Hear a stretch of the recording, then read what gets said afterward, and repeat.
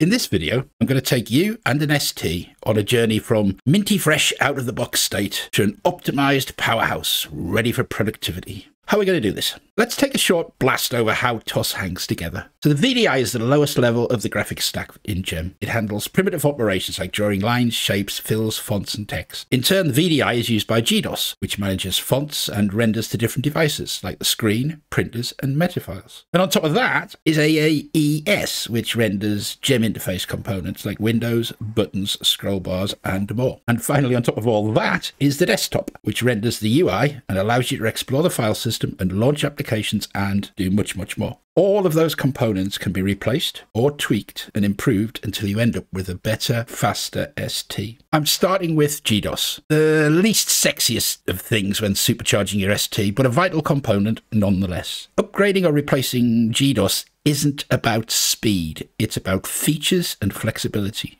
So my GDOS replacement of choice has always been Speedo GDOS, the speed part of the name being mostly a marketing gimmick, frankly. GDOS replacements in general, and Speedo in particular, offer things like more fonts, better driver support for more printers, outline fonts, and font caching. Fonts in GDOS were originally bitmap fonts. If you wanted multiple sizes of a font, you had two choices. Either install more bitmap fonts for each size you want, or let GDOS scale the bitmap font to different resolutions. So the first approach ate up RAM, and the second approach led to poor quality output. Outline fonts store the definition of the font face in a vector format, and Speedo GDOS can render fonts at different sizes via the vector definition and produce clean output at insane sizes, frankly. So Speedo GDOS has two font caches, one for outline fonts and one for bitmap fonts, which are still supported. But these caches are not used for increasing speed, but for reducing memory consumption. The caches operate by storing fonts read from disk for later reuse. But when the cache is full, the least recently used font is discarded and the new one loaded. This contrasts the original GDOS, where once a font was loaded into memory, it was pinned there and never released. There's a final little handy dandy hint, if you like. Annoyingly, by default, GDOS waits for a key press on every boot. And if you want to get rid of that, if you go onto your C drive and edit the file extend.sys and change the line stop equals 1 to stop equals 0, you can boot straight into the desktop without having to press a key. The best VDI accelerator, in my opinion, is NVDI, and it's better by a long chalk than most of the rest. I'm going to show you the value of NVDI rather than tell. Performance is the most important thing, so let's look at that. So I'm going to start with NVDI not installed and run GemBench. I'm doing this on a real ST for reliability. I'm probably going to out, edit out most of the run as it gets a bit flashy and I really don't want to trigger anybody. When I run GemBench, the option I'm picking is save defaults. So it will run the tests and save those results as the baseline for the future comparison. And installing NVDI is a breeze. It's mostly just next, next, next. I'm showing you this on Hatari because I already have it installed on my machine. And since we're using Speedo GDOS, it's important that you disable NVDI's own GDOS support in the control panel because otherwise problems will occur. Post installation of NVDI 2.5, we're going to run the tests again. If you look at the reference in the system boxes on the bottom right of GemBench, you'll see that the only difference between the two configurations is the presence of NVDI. So let's run the tests.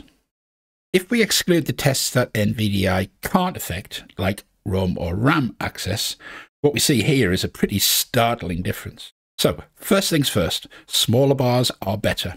NVDI is in green and the baseline figures in blue. As a percentage of the baseline speed, what we get is 321% over baseline for gem dialog boxes, 965 for VDI, uh, Uh, 806 for text effects, 596 for small text, 282% on VDI graphics, 186% on Gem Windows. Blitting is 175% of baseline, VDI scroll is 429%, justified text 251%, and VDI Inquire is 207%. That's an amazing improvement for some software. I mean, the key takeaway here is if you install nothing else in this guide, get NVDI. Now that we've made it go faster, let's make it look better, and have more features. There were several desktop replacements for the ST over time. I used Gemini, Teradesk, and Neodesk. The one that I settled on was Neodesk. Neodesk is available from the Gribnif website. It was released into the public domain by the original author a couple of years ago. There's a link in the description to that site at the end. Installing Neodesk is simple. We select our C drive as the drive that hosts our auto folder. We select the C drive again as the drive that hosts our accessory files. And then we OK on through the wizard. We're going to opt to install the NeoDesk control panel and then choose not to install the printer queue. Finally, we choose to install the recoverable trash can you get this kind of weird warning about reading page 135 of the manual. Well, that's not on the website, so best of luck with that. Finally, I hit quit and it's installed. So after a reboot, uh, nothing, it didn't start. We'll start it manually for now, and we'll get it auto starting when we look at Geneva later. In the NeoDesk menu, there are two items of interest. The Neo Control panel allows us to configure the environment. So that's things like change date formats, enable or disable the screensaver, disable the dreaded keyboard beep and the alarm bell. It offers most of the functionality of XControl actually, without the need for CPX files, so I do run with this. And the other item in that menu is the trash can control panel, but I'm probably going to leave that for a future video because, frankly, it's beyond the scope of this one. Let's have a look at the desktop. Where to start? We're going to open Drive Up and we're going to see what UI toys we get. But from the get-go, you can see that there are some easy to spot differences. There's no horizontal scroll bar on the directory window. I mean, that's so much better than the TOS default where you had to scroll horizontally to find icons and it made it very difficult to uh, select all the files in a folder. On the bottom of the window, where the old horizontal scroll bar was, there are three buttons. The first button duplicates the current window with the full path. Now, this is useful if you're deeper in your file system and you want to sort of fork your navigation in two different directions. The second button switches the window mode from icon to text and back again. And finally, the third button is a select all, deselect all toggle. The final window decoration that I want to point out is the left arrow next to the full screen button. This brings the next window in rotation to the front of the screen and focuses it. Let's see what you can do inside of the file menu. Notice that the File Explorer window itself has menus inside of it. And these are a combination of both more global items from the main NeoDesk menu and ones that are Windows specific. The File menu offers you the usual TOS fare and two options relating to groups. Groups are an interesting feature that are collections of items that you literally just want to group together. They're presented as a virtual folder. So I'm going to create a group and put some things into it. From the File menu, we select new group. We enter a file name, a window name, and a description. So I'm going to put two random files into it from different locations and then save the group. Now, when we reopen our group, we'll see the stuff that we put in there. Notice that clicking on a file in the group shows the path to where the file is in the first row of the window. So there's another way to create a group, just to do it via search. Now, the search mechanism in NeoDesk is very flexible. So from the file menu, I'm just going to select search. And, you know, you can search by size, date, and other attributes, but we want to use templates. And templates are, in modern terminology, wildcards. Make sure that the checkbox for the group option is selected and that templates obviously are selected too. And here I'm selecting star.prg, TOS, and ACC. And there's a button there that says freeform that allows you to specify any mask you want to. Click OK and the new group is automatically created with the search results. When you close the window, it'll ask you if you want to save and the saving procedure is the same as it was when we created a group before. So this has created a static group. So if files are added later that would match the original search results, the content of the group is not updated. Double clicking on an item in a group that has been deleted in the meantime just results in a warning dialog telling you that it's not there anymore. Let's turn our attention to the view menu. The view menu contains entries that affect the current window. So let's switch to showing files as text. Notice that the other window is not affected. So each window can have its own view options, which contrasts with TOS, where all windows would have the same. I'm just going to resize my window and look at some text mode options. We can choose to display more data by using a smaller font. And we can choose what attributes are shown by enabling and disabling them. To get even more information on the screen, we can actually opt to see more than one column of files.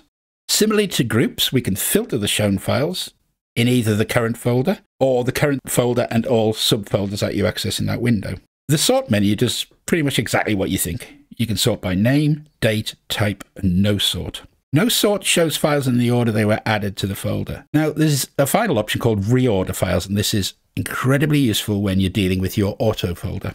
So files in the auto folder are executed at startup and they're executed in the order that they were added to the auto folder. If you needed to reorder the files in vanilla TOS, you had to move all the files out of the auto folder and then re-add them one at a time in the order that you wanted them to run. The reorder option in NeoDesk allows you to drag and drop the files in place into the order that you want. When you turn off reorder mode, it'll prompt you to ask if you want to save or cancel. What's the performance benefits or overheads of using NeoDesk? So using the previous benchmarks of NVDI plus TOS as a baseline and running the tests from NeoDesk, we get, well, there's a 1% reduction in performance across the board, with two tests coming in at worse than that at 97% of baseline. The 1% is just something I seem to see in GemBench from run to run. I think that is just the margin of error of some of the some of the tests. However, two of them are operating at 3% less than they should do. So these two tests are the gem dialog box and the VDI Enquire. I presume that the dialog box degradation is due to the overheads of rendering the extra decorations on window bars and dialogues and stuff. The VDI Inquire, I'm not 100% sure why that came around. All in all, not significant. Okay, so we've come a long way on our journey to supercharge our ST.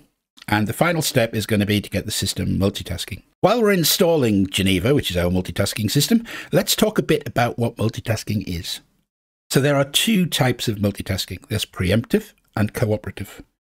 In preemptive multitasking, the OS schedules and swaps processes and tasks on interrupts at regular intervals. Cooperative multitasking is where apps give up or offer to give up execution when they choose to. Geneva is classed as a cooperative multitasking operating system. Tasks are potentially scheduled when the current app makes a call to any AES function. Obviously, if it doesn't make any calls to AES function, if it's in a tight loop, for example, then it'll never get scheduled off and it'll hog the processor, just like a standard gem app.